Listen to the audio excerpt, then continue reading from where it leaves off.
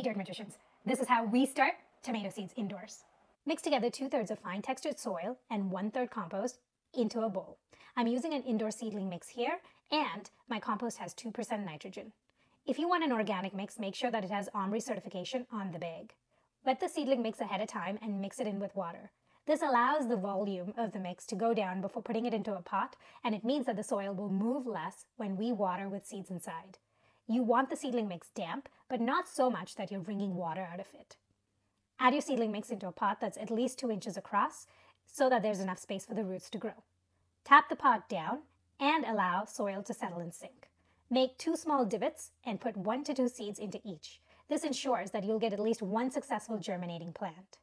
Lightly cover with a bit more of the mix. Add an additional amount of water with something gentle like a water bottle. Put under grow lights and water every two days until seedlings have germinated.